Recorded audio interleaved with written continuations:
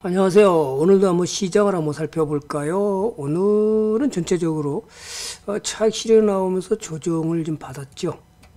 어, 주식 시장은 조금 아침부터 계속해서 외인과 기관이 매도하다가 막판에 꼭 요즘에서 계속해서 그런 현상을 많이 보입니다. 특히 그 3시쯤 돼서 시장을 반등 쪽으로 많이 매수하는 경향이 있습니다. 보시면 어, 투자 집계를 한번 잠깐 볼까요? 보면 음, 매매 종합에서 개인들이 오늘 대체조사권 외인과 기관을 팔았는데요.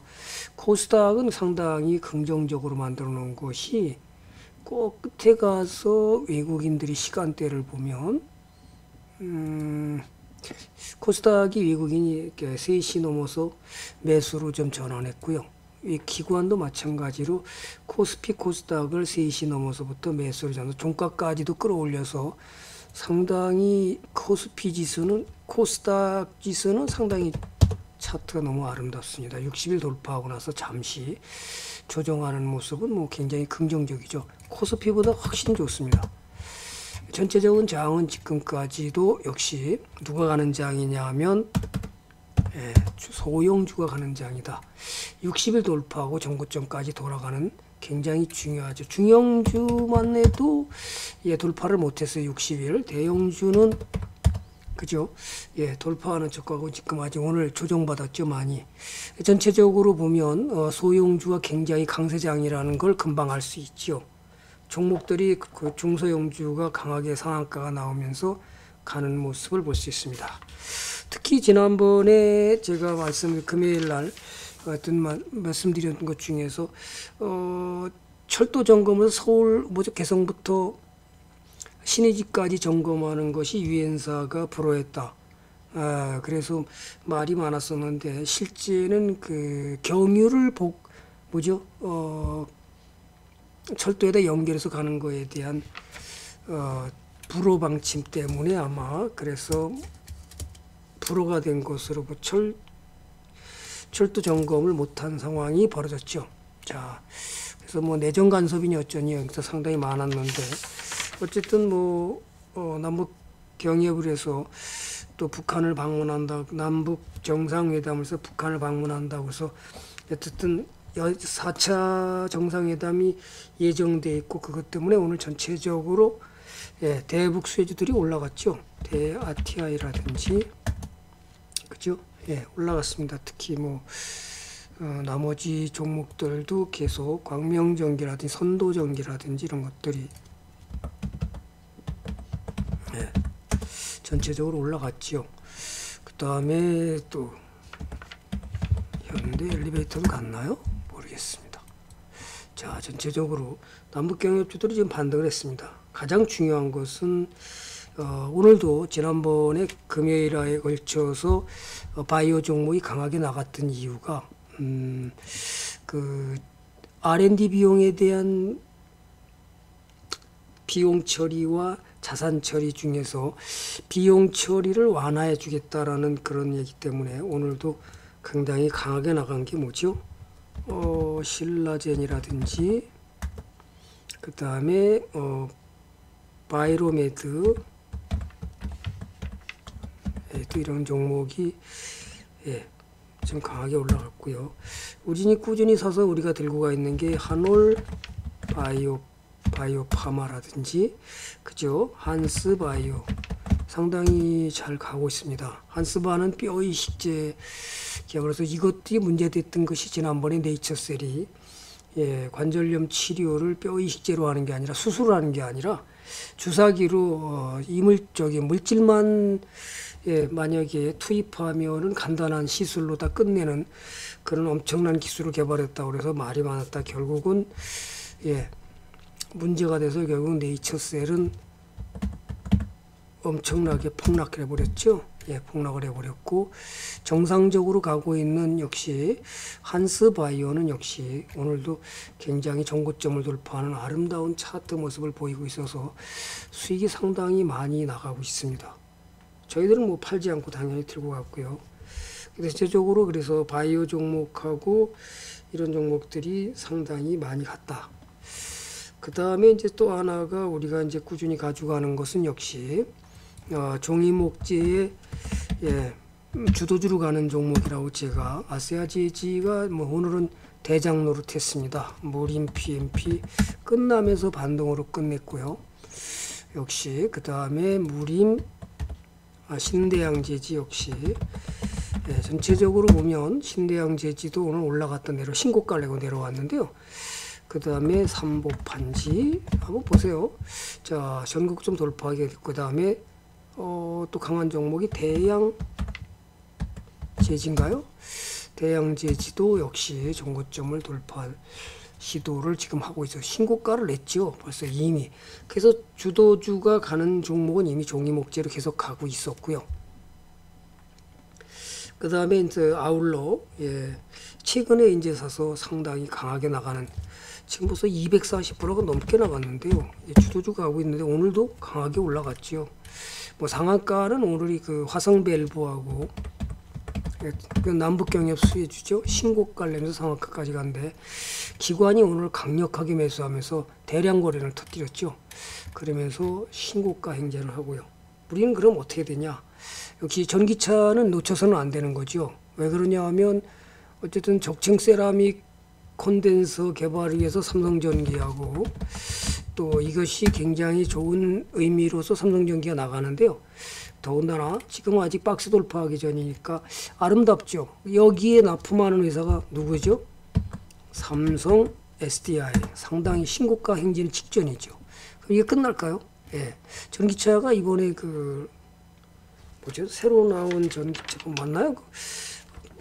음, 지난번에 닉슨은 수소 전기차고 이번에 나온 거 코나인가요? 코나 일렉트릭 차가 굉장히 뭐 괜찮다고 그러는 것 같은데 어쨌든 중요한 것은 예, 지금 이 삼성 SDI는 굉장히 관심 있게 들고 가야 될 종목입니다.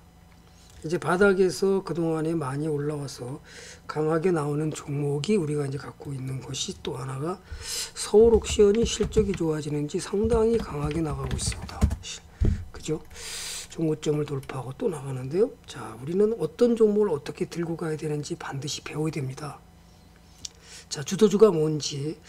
그래서 아마 우리가 가장 이제 강하게 또 갖고 가는 종목이 중앙백신이라고 상당히 신고가 행진으로도 강하게 올라가서 여기서 내리 두 번이나 사주면서 강하게 들고 가야 된다 그랬더니 역시 오늘 신고가 행진이 상당히 긍정적이죠. 수익이 벌써 굉장히 많이 났습니다. 대충 어느 정도 났나요? 여러분이 어떤 종목을 어떻게 갖고 와야 되는지를 가는 것은 굉장히 중요합니다. 87%가 났네요. 다나와는 뭐 말할 것도 없고 이건 뭐 140, 뭐 240%가 넘어서 지난번에 우리 의료원이 어, 전문가님 이거 600만 원 담았는데 지금 예, 1,400이 넘었습니다 수익이 그래서 상당히 잘 들고 가고 있어 오늘도 신고가를 내서 상당히 아름다운 모습을 보이죠. 자 어떤 종목을 사야 될까요? 자 이 종목이 왜 이렇게 나갈까요? 기업을 한번 분석해 보세요. 뭔 일이 벌어졌는지 상당히 실적이 보면 작년 2016년에 85억이었죠. 2017년에 152억이었습니다. 2018년에 보면 예, 작년이 2분기가 27억인데 실적이 꾸준히 27억, 38억, 44억, 54억 그죠? 꾸준히 개선되고 가고 있죠. 그렇다면 어떻게 되죠? 주가는 갈 수밖에 없잖아요. 그죠? 또 ROE를 봐도 역시 14, 19, 21 어, 워런 버핏이 가장 중요한 것이 ROE가 17이라 이상이다 그랬는데 상당히 좋게 나가고 있다라는 것은 기업이 아직도 갈 길이 멀다. 어우, 전문가님 무서워요. 이걸 어떻게 사요? 예. 무서워서 못 사죠. 그럼 이거 비싼 건가요? 아닙니다. 아직도 더 갈 일이 많아. 자, 이제 신고가를 냈으니까 역사적 고점을 넘었으니까 당연히 한 번은 조정이 들어와야 되겠죠. 조정 들어오면 또 아니 다 살 자리잖아요. 어떤 거 살 자리죠? 이런 자리가 다 살 자리예요.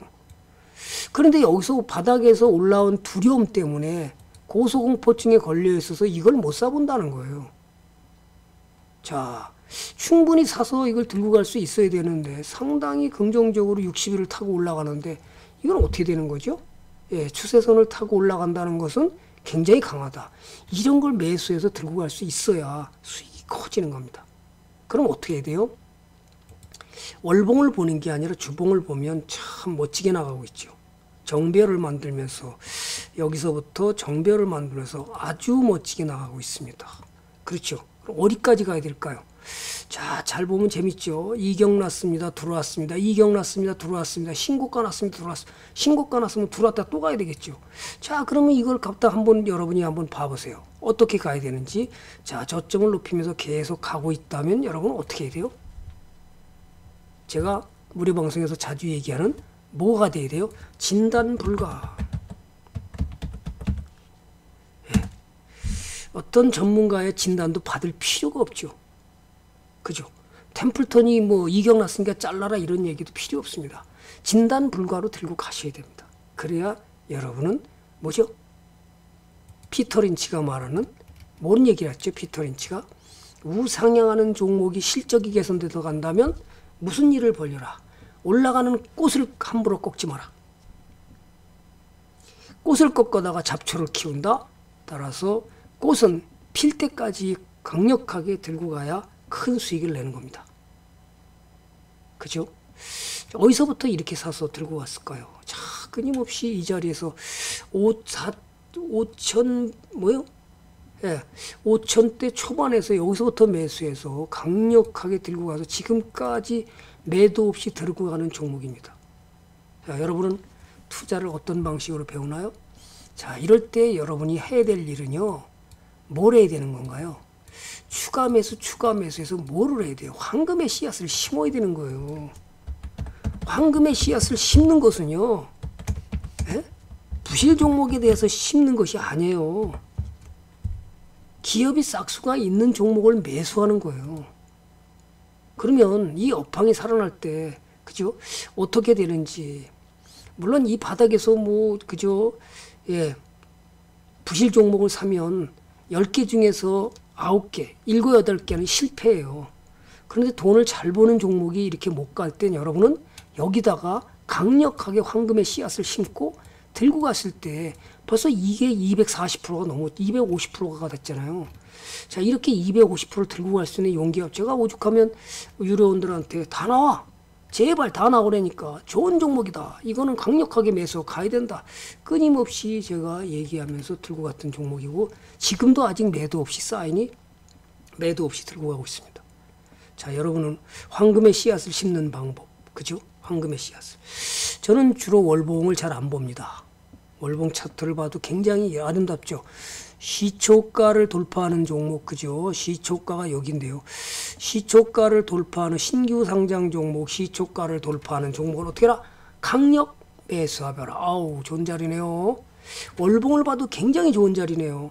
그렇지만 사실은 주봉을 잘만 봐도 그죠? 이 자리가 얼마나 좋은 자리인지 그죠? 이평선이 수렴해서 강력하게 나가고 있다. 그러면 이 기업이 돈을 잘 버냐? 확인해 보고 영업이 꾸준히 나고 있다? 그러면 뭘 배죠? 그러면 우리는 강력하게 매수하고 씨앗을 잡고 여기다가 황금의 씨앗을 심고 가는 거죠. 이렇게 씨앗을 심고 가는 겁니다. 어디까지 갈까요? 갈 때까지 가봐야죠. 그것이 바로 정석으로 가는 투자고요. 또 여러분이 가치 투자를 한다고 해서 조심해야 될 게 한 가지가 있습니다. 가치의 함정이 걸리지 않기 위해서는 예, 가치의 함정이 걸리지 않기 위해서는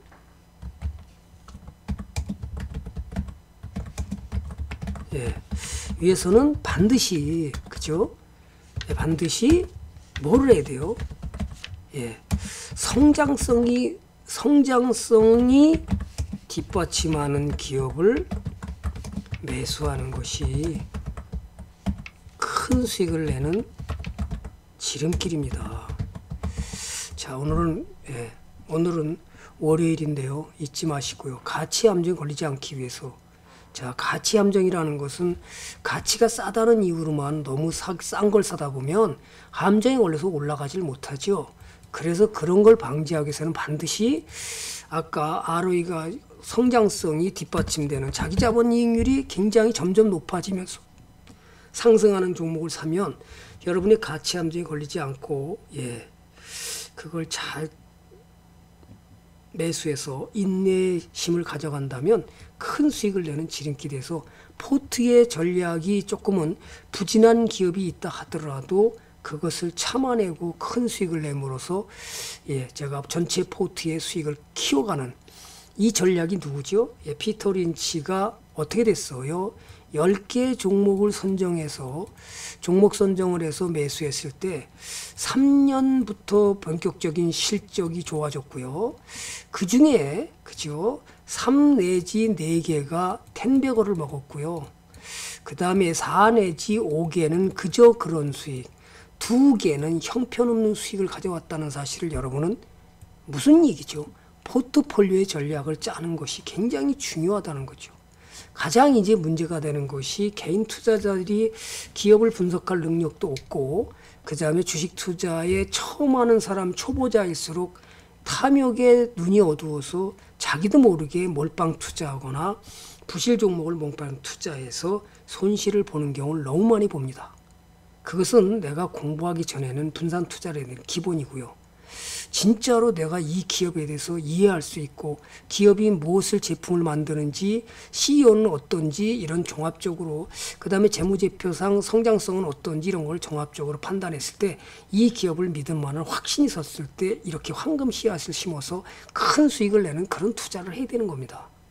그걸 배울 때까지 우선 초보자는 정석을 배우시고요. 그 다음에 분산 투자라고 하면 최소한 내가 깡통으로 갈 수 있는 혹시 부실 종목을 하나라도 갖고 있었을 때 깡통으로 가는 걸 예방을 할 수 있는 지름길이 될 수 있잖아요. 그런데 그렇지 못한 경우가 너무 많아서 안타깝기는 합니다. 자, 제가 저는 뭐 목요일 날 오전 방송에 무료 방송 일주일에 한 번씩 예정돼 있고요.